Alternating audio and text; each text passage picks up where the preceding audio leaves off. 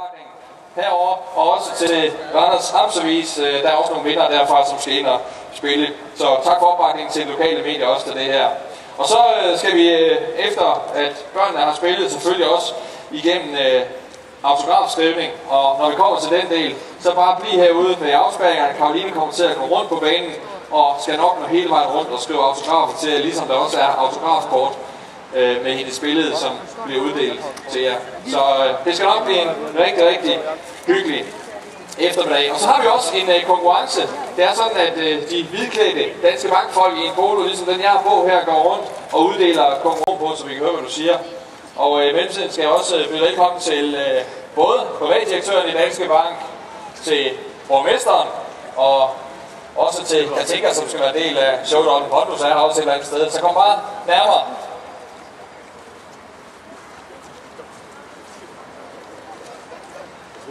Og vi får lige en øh, mikrofon monteret på Karoline. Det er sådan, at Karoline dagen igennem vil have mikrofon på, også når hun spiller herinde, så der er mulighed for at øh, få friske kommentarer fra hende. Altså, hvis hun kan komme med nogen.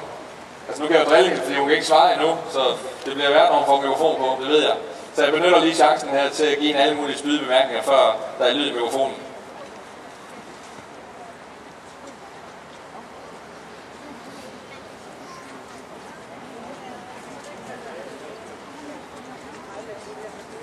Er der lyd på dig? Ja, øj, Nej, det var ikke, det var ikke så godt. Nå, Karoline, velkommen til Randers. Tak. Hvordan er det at være øh, tilbage? Fordi øh, du har faktisk spillet DM i Randers engang. Ja, det har jeg. Jeg kan ikke huske, hvordan det gik, så jeg kunne ikke have vundet. Du vandt første runde, Okay. og så har man nok tabt i anden, for jeg har ikke hørt mere om den turnering, så det var nok sådan, det gik. Men du var kun 12, så det var flot, du vandt første kamp. Det tror jeg ikke. Jeg tror, jeg har været mere. Det har været mere. Ja, det kan godt være. Hvordan er det at være her i dag? Fordi det er meget... Jeg kan huske, at du spillede. Vi spillede ligesom ikke sammen mod dig, hvor du tabte til os. ja, det kan jeg ikke, det kan jeg ikke huske. Det kan jeg godt Det kan jeg ikke huske. Nå, men øh, vi skal i gang her, men inden vi skal det, så vil jeg gerne give ordet til øh, en øh, rigtig velkomst til dig i byen her. Værsgo til dig på mediatør. Tak. Mit navn er Lasse Henriksen, og jeg er direktør i Danske Bank her i byen. Jeg vil gerne starte med at sige velkommen til Karoline. Det er en kæmpe fornøjelse, og øh, jeg tror også øh, for mit eget vedkommende en af de helt store oplevelser i min øh, bankkarriere, hvis man kan sige sådan. Ellers så vil jeg gerne benytte lejligheden til at sige tak til alle de frivillige, der har bakket op omkring det her projekt, I kan se. Og jeg vil også gerne sige tak til kommunen og alle de indsatser, der har gjort i den sammenhæng. Og så ikke mindst til alle de dejlige børn, der har mødt op og trodset regnvejret. Så øh, nu ser jeg frem til en rigtig, rigtig spændende eftermiddag, hvor at, øh, jeg glæder mig specielt til at spille sammen med Katinka. Jeg glæder mig også til at spille lidt mod Karoline. Men, øh, og så også Pondus selvfølgelig.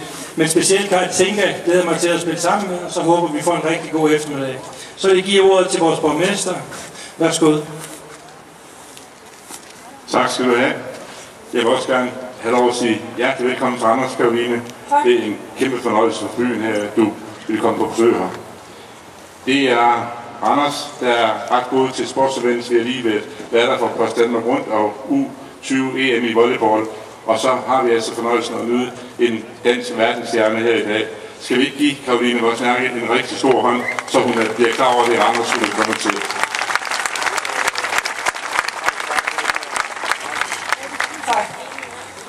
I Randers Kommune siger vi, at vi ved mulighederne, og jeg synes, at du, Karoline, er et meget fint eksempel på, hvad man kan opnå, hvis man griber og udnytter de muligheder, som tilværelsen byder.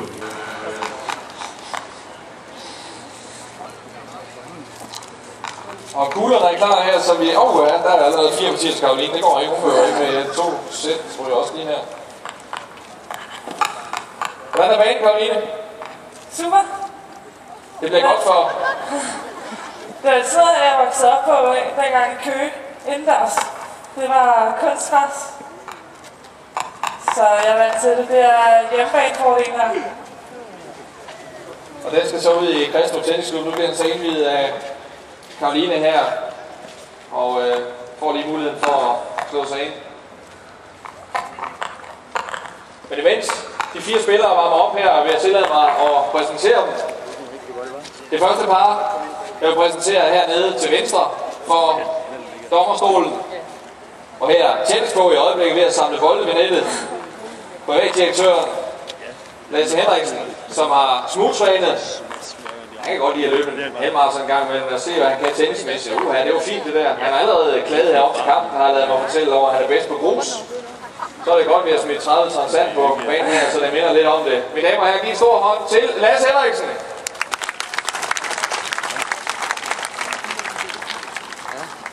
Og her ligeledes på venstre side og længst væk har vi altså en pige på 12 år, som formentlig drømmer om at blive ligesom Karoline. Karoline var lige præcis 12 år, da hun spillede DM, senior DM i Randers Tennisklub. Og nu er det altså Katinka, der forsøger at gå i hendes fodspor. Og som vi lige hørte hende sige, træner altså hver dag og spiller kampe i weekenden, og hun har allerede fundet en rimelig god rytme på den her bane. Hun har glædet sig lang tid. Stor oplevelse. Så giv en stor hånd her. Mine damer og herrer, Katinka Nielsen, Anders Tennisklub. Og så her til højre for dommerstien, længst væk, har vi den, der måske er i allerbedst fysisk form.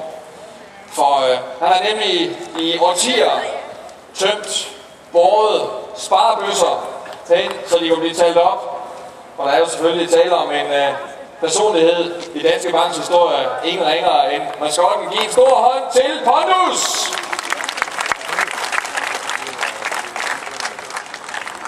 Og så her tættest på dommerstolen, jeg kan godt tillade mig at kalde det dagens hovedperson, en spiller, som har ligget nummer 1 i verden, mere end langt de fleste andre i verden, har skrevet sig ind i top 10 historien over spillere, der har ligget flest uger som nummer 1 på verdensranglisten. I alt har vundet 18 turneringer i en internationale tenniscirkus.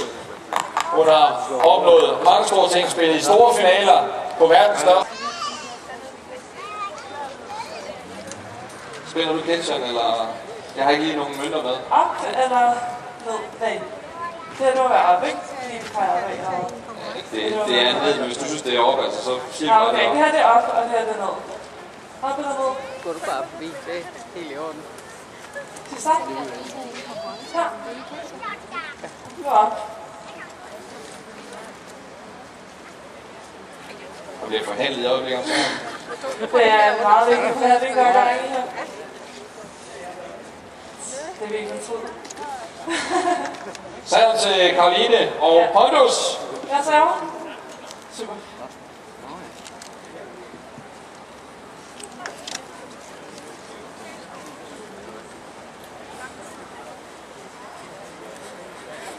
Og kampens længde varierer lidt efter, hvem der ser godt ud på hvilke tidspunkter, og efter dommerens temperament. Men her starter vi. Kan du starte, ikke? Skal vi lige Ja, det er klart. Det var,